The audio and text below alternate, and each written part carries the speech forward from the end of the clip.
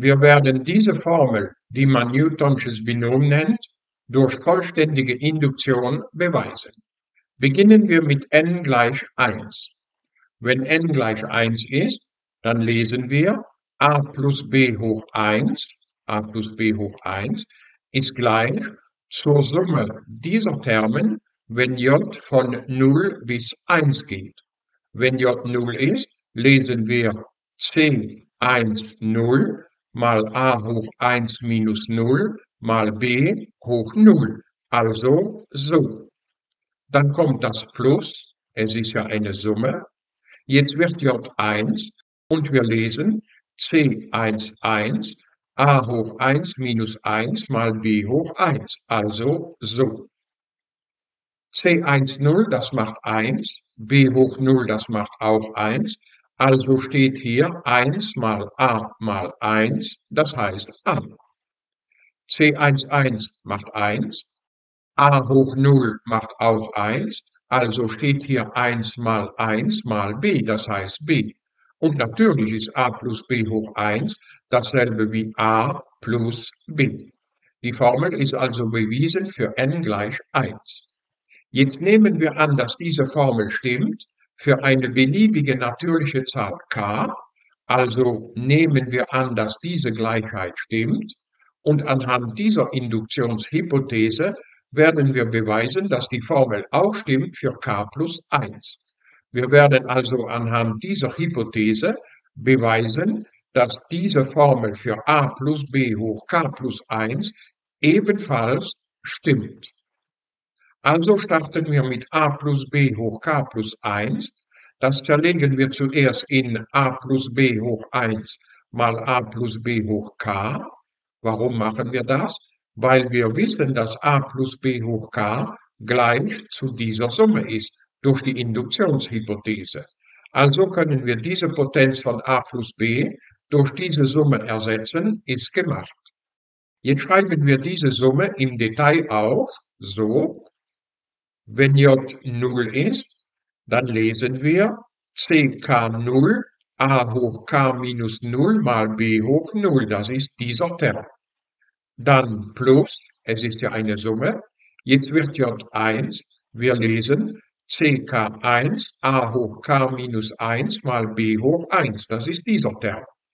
Und immer so weiter bis zum letzten Term, das ist, wenn j gleich k ist, wir lesen ckk a hoch k minus k mal b hoch k.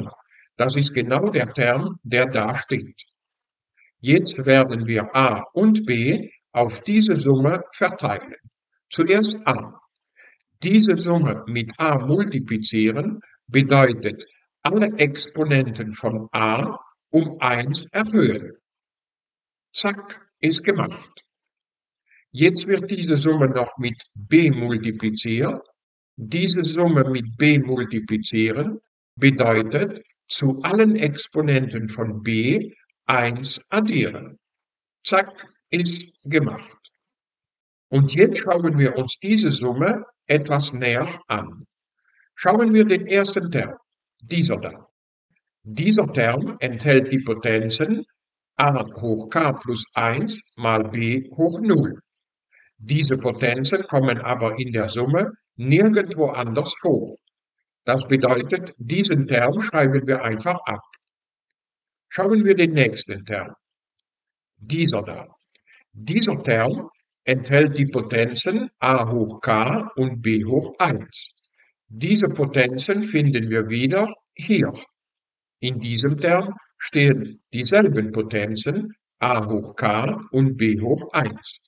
Also setzen wir diese zwei rot unterstrichenen Termen zusammen und klammern in dieser Summe a hoch k mal b hoch 1 aus.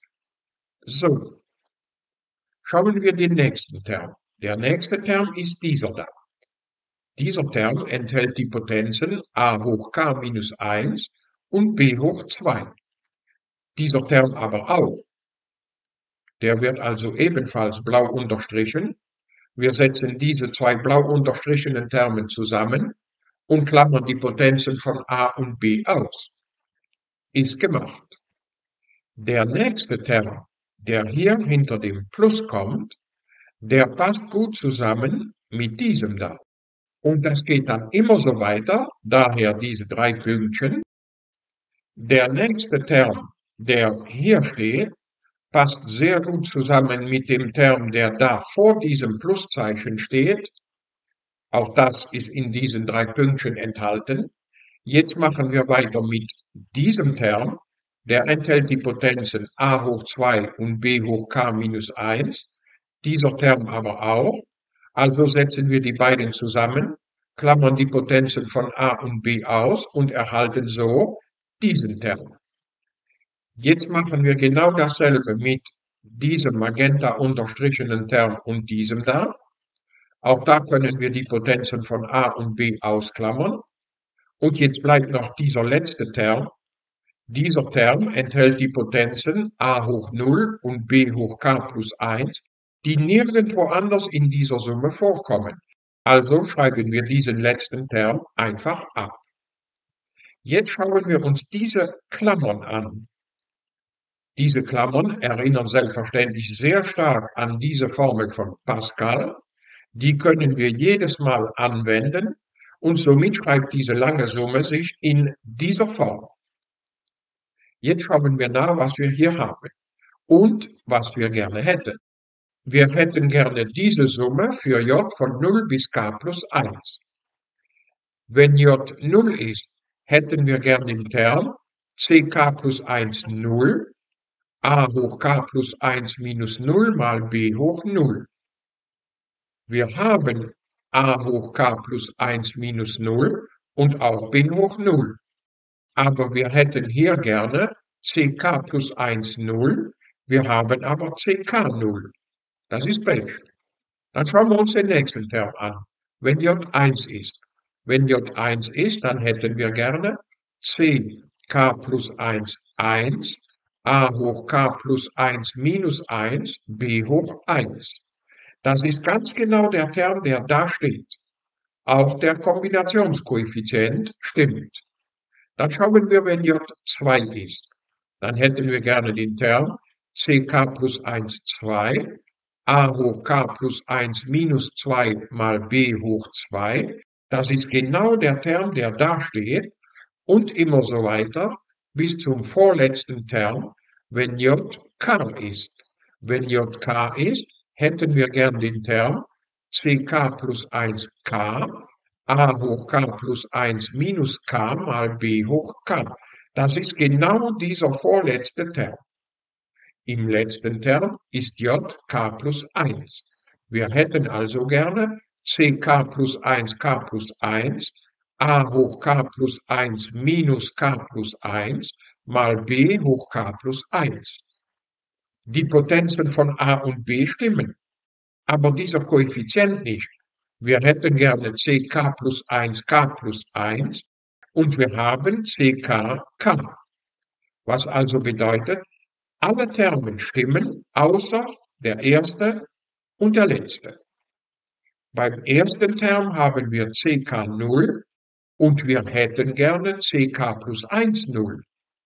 Aber ck 0, das macht 1. Und ck plus 1 0 auch. Da diese beiden Zahlen gleich 1 sind, können wir diesen Koeffizienten ck 0 einfach ersetzen durch ck plus 1 0. Also haben wir den ersten Term so, wie wir ihn gerne hätten. Jetzt der letzte. Hier steht ckk das ist 1. Und wir hätten gerne ck plus 1, k plus 1. Aber was wir gerne hätten, ist auch 1.